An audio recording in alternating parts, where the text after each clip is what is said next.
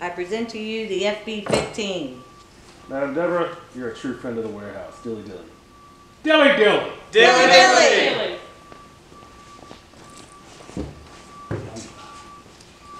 I present to you the quad vent bag. Madam Tiffany, you're an even truer friend of the warehouse. Dilly dilly. Dilly dilly. Dilly dilly. Pour some out for my homies.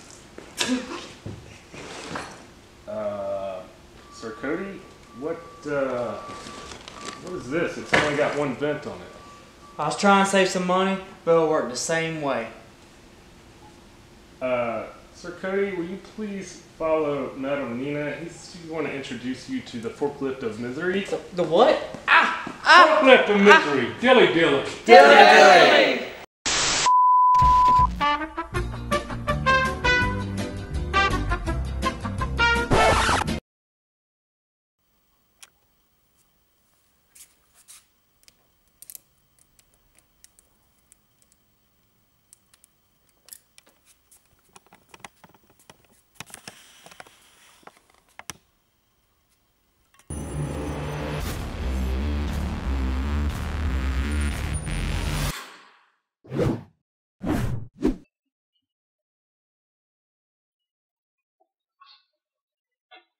Rolling? Alright.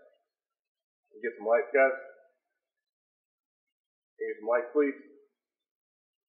Lights, please? There we go. Alright, welcome back, everybody.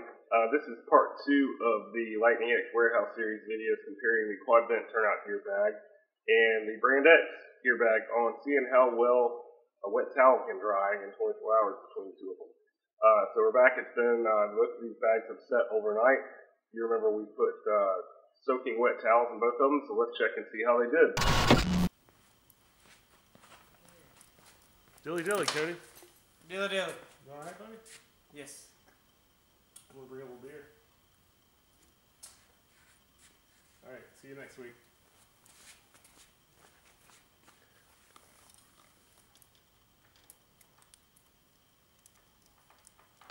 Let's start with the quad vent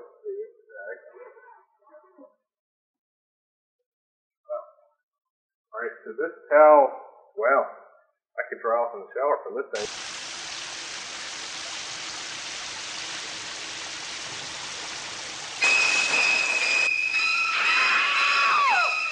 This is almost completely dry. There's still a, there's a little bit of dampness to it, um, but yeah, I would say it's almost completely dry. It's even a little bit fluffy.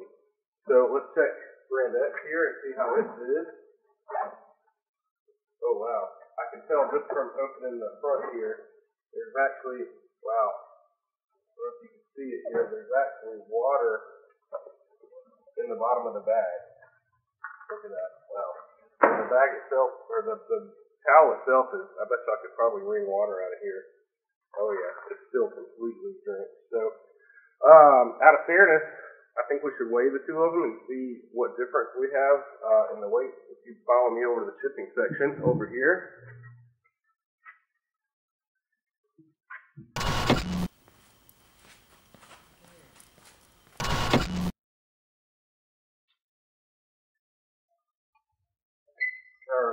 Uh, official gearbags.com shipping scale. So let's get these folded up. Get them all on the scale. This is the Lightning X towel. Uh, 1.25 pounds total. That's not bad. Let's get the the brand X towel and get it on here and get a read. Wow, 3.45 pounds. That's more than double, almost triple of the Lightning X towel. So, with that said, I think there's a, a few important things to remember here. Both of these towels we absolutely saturated with water. They were soaking wet.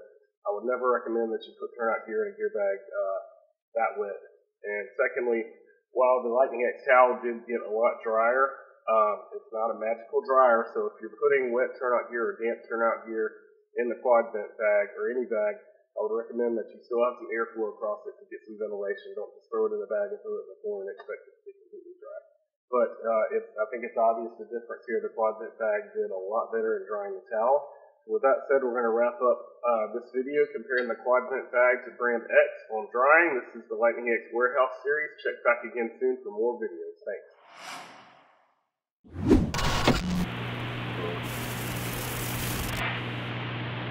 Dude, we gotta get a new lighting guy. For real. Hey, can I take these towels home with me? I'm out of here.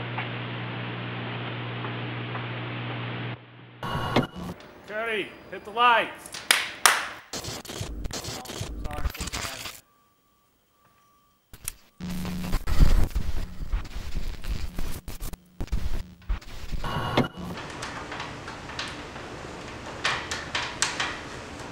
Dilly dilly. Dilly dilly. Everybody, hang in there. Yes, sir. Starving. Get your weekly meal. See you next week. Thanks. In okay?